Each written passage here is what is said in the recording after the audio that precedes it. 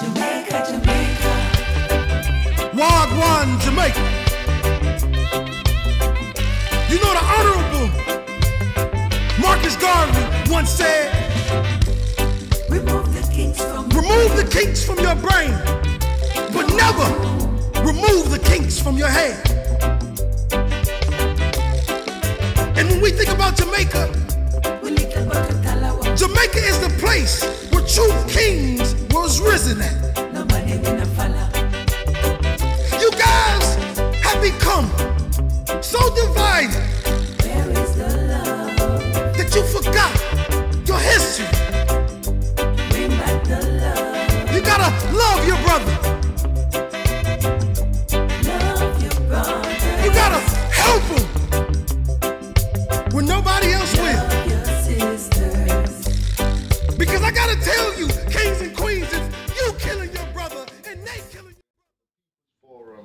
Of Industries. I'm here in Portland at Seminole Corner, the Devil's Elbow, as they call it. I'm here with Ghanaian Queen Mother Lynch. I'm also here with Constantine Bogle, the great great grandson of Paul Bogle. And I'm also here with Eru Ishaka Musa Menelik. My name is Claude Sinclair. My African name is Kweko. How are you today? Well, I'm fine. It is an honor for me and my friends to come here today, leaving all the way from Kingston, stop over in St. Thomas, and we're here to meet with you on this historical piece of landscape. Yes. Tell us a little bit about Simi No More. Well, See Me No More is, was a property that was owned by a slave master whose name was uh, Ross Craig. He was a, a Scottish uh, man who had the property here. And uh, he had our ancestors uh, brought here. I have a slave house on the property with a dungeon Yes. and they used to bring our ancestors through here. Mm. So we have uh, some ancestors from Nigeria, from Calabar, hmm and they are from Kwa. They are Kwa people from Calabar. Mm. And then we have the Ghanaians, of course, in Maroon Town. That is uh, uh, near Port Antonio, up in the hills, in Maroon Town. They are Ashantis. And then we have, you know, going down Bath area also. We have other uh, nationalities. Jamaica, we have, when we go to Westmoreland, we have Abeokuta. Abeokuta people are from Nigeria also, from Abeokuta in Nigeria. And we have Abeokuta in Westmoreland. And then in St. Mary, um, I don't know much about St. Mary, but we have other people uh, from St. Mary too. Maybe we have some uh, Maroons in St. Mary. Yes. We have Maroons Yeah, in have- St. Mary. Maroons. Okay, the Maroons are, are Ashantis. Mm. Okay. So that is uh, what we have. Um, here. somehow it bothers me because most of Jamaica are lo- it's like we are lost, ladies and gentlemen. We don't know who we are. We are like wandering sheep. We don't even know our real names. So to get this fact, this piece of fact from a, a Ghanaian born, that our tribe, our people came from Ghana, and Nigeria. and Nigeria, it makes me feel good because at least I know where we started from on this mm-hmm. perilous journey Yeah. to Jamaica. Yeah. Jamaica has seen some wicked time, Queen Mother. Our murder rate is 1,000 plenty, and it's, it's, it's continuing every day. The bloodletting keeps continuing. What kind of message would you give to the Jamaican people? Well, what I will say, first of all, is for us to put the spirit of our ancestors to rest because our ancestors are not resting. They are roaming. Their spirit is roaming the whole land. And what is happening now is that the ancestors are asking for vengeance. That is the problem we're having right now in Jamaica. Mm. The spirit of the ancestors are, uh, uh, what do you call it, possessing these young people and making them commit all these atrocities. So let me speak this in Jamaican so we can understand. Mhm. You're saying that because of our ancestors, our spirits of our ancestors is not at peace, No. then the spirit of our ancestors possess these youngsters, these Yes. mi- misguided youths. Yes. And that is why we're having this that wanton killing is without mercy. until we put the spirit of the ancestors to rest in peace. We will not have peace in Jamaica. I'm saying that authoritatively. We have to bury them properly because they were killed anyhow. They didn't bury them properly in the African traditional way. They buried them in like mass graves. That is the thing. They were kings and queens. They were just brought here and dumped like, like, like. The garbage. Dirt. Thank you. How much time left? So that's is fine. that that is the problem we are having now. We have to put the spirit of our ancestors to rest. They are asking for vengeance. Mm. Can I say something? Yes. yes. Con, what are your thoughts now that you have heard? And it is always the the the the idea of the Paul Bogle Foundation to pay uh, homage to our fallen. If we go to the Bible, which is a spiritual book that says, Christ says he will. Hold on, I noticed me. a while ago when you mentioned the Bible. The Bible was written by white people. Africans did not write Bible. Don't give me Bible talk. Well, My ancestors didn't know you- what Bible well, was. maybe if you had just allow me to say Mm, what I was gonna say. Please, mm. don't I let am them saying to you that now. even if you look at the Bible with, that they, that they use Mm. as the spiritual book of guidance. In it, Christ said, If you don't recognize me, I will not recognize you. So the ancestors is saying that if you don't recognize our blood sacrifice, is the ancestors is saying to us, if you do not recognize our blood sacrifice, then you are not really going to have any peace in your life. That is it. That is So- what is happening. So, so um, that's what I'm trying to say.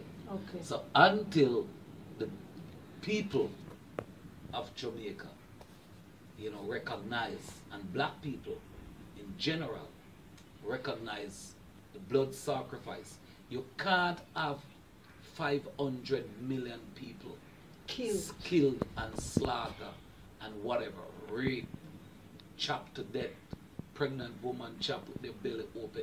You can't have that kind of atrocity, the biggest human atrocity that ever take place on earth, and you do not have a day to recognize this level of blood sacrifice. Because if you don't, I am telling you. So what Queen Mother is saying is something that then you are not really going to have any peace in your life. That is it. That is so, what is happening. So, so um, that's what I'm trying to say. okay. So until the people of Jamaica, you know, recognize, and black people in general recognize the blood sacrifice, you can't have 500 million people Killed. killed and slaughtered and whatever, raped, chopped to death, pregnant woman chopped with their belly open. You can't have that kind of atrocity, the biggest human atrocity that ever take place on earth, and you do not have a day to recognize this level of blood sacrifice. Because if you don't, What are your thoughts on the pain, uh, the atonement of our people, the lighting of millions of candles for our ancestors, putting their souls to rest. Well, the first thing we must acknowledge is that we are children of the Africans. And we must turn to Africa for all our redemption. We must start using the African customs. And as we look at even simple things as our names, the names give empowerment to the English people when you keep your English name. We have to discard those names and take the African energy. And as Marcus Mosiah Garvey African fundamentalism say, we must create our own reality. We must live the reality of Africans. When we live the reality of the white man, the European, we are strengthening his system and keeping it on top of us. We must discard it, do away with the white man's system and create our own because we are the first creators. We are made in the image of God, in the likeness of God as African people. That is what I have to say. Powerful. Queen Mother. My sister, Nana Esibua, took one of her ancestors' remains back to Ghana. Ghana had a national atonement was Queen Mother. Assin Manso. Mm-hmm. Ghana had an atonement day. We were mourning. People were crying. You know, when they took the ancestors home. We had one ancestor from here, uh, Madame Crystal, that uh, Nana Isibua took. And then we had two ancestors from America, male. So there were three ancestors taken back to Ghana. Mm. And you know, Ghana had a day of mourning for the ancestors. I don't know what Jamaica is doing, but Jamaica, we have to do something. We have to do something in Jamaica here. Because, I mean, we've lost, we've lost so many of our ancestors here. The blood is crying out now. And that is why we're having all these killings. We have to do something. We have to do the atonement here and put our ancestors to rest. Their spirits are crying. That is what we have to do. Ah. Um, we noticed that the parish, ladies and gentlemen, of Portland has one of the lowest crime rate for the last many years.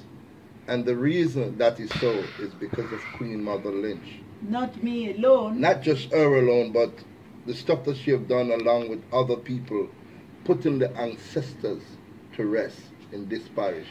Henceforth, the murder rate is very, and very low. our brothers in Moore Town also. There was a part of it, the Moore Town Yeah. Maroons. The Moore Town Maroons too. As you notice, ladies and gentlemen, I have this piece of rock that I took from the slave house. And I brought it here because I want Queen Mother to bless it. Because I want to keep this as a as a reminder of what our people went through. I will cherish this piece of rock and I will hand it down from one generation to the other. So Queen Mother, Man has taken the, all the wrong. Nna ma papa fi Nigeria, Calabar. Na mo ware Jamaica nyi. Jamaica nyi a wɔfrɛ no Tony Lynch. Nna eyi wɔfrɛ no dɛ ne nkurɔfo ɛɛ n'ancestors so yɛ eyi wɔfrɛ no eyi Willie Lynch. Ɔna okokun okokun eyi yɛn nkurɔfo wɔ Jamaica na America. Nti mo kun waka beebi wɔfrɛ no Antonio Lynch wɔwo no wɔ Cuba Santiago de Cuba. Ɛna moware no wɔ London. Ɛna menye no kɔɔ Nigeria. Na ɔkɛyɛ adwuma na menyini ba jamaica. Na nanse meresane akɔ ghana. Na maakɔ nigeria. Na eyi na meyɛ eyi wɔfrɛ no dɛ ɛɛ ɛɛ young pioneer kwame nkrumah ne mba nti mereba fie. Na gyegye ba ɛyi ɛɛ jamaica no ɔbrɛ hɛn ɛɛ nyimpa a ɔbɔ drums wɔfrɛ no victor. Na victor nyimba tena ha na ɔkorɔ eyi Ed- edna manley ɛɛ wɔfrɛ no dɛ arts and how you call the edna Kwaba. uh, uh, Akwaba drummers, ne, uh, Edna Manley uh, School of Art and uh, Art and what? Performing arts. Per performing arts. Nsi Victor, nyimba tena e, e Jamaica ha, wɔ Portland, me fie. Nti e Ghanafo a wɔwɔ e, diaspora, wɔnhwɛ wɔn ho yie. Aborɔfo mpɛ dɛ yɛyɛ biribiara, aborɔfo pɛ dɛ wɔkuku yɛn. World, uh, wɔfrɛ no dɛ, world, what you call it? What, what do the white people want? New, new world or Order. order. Nti wɔpɛ dɛ wɔku eyi Africans, wɔkuku Africans why our pede woku here. They are afraid of us. They want to exterminate all the africans.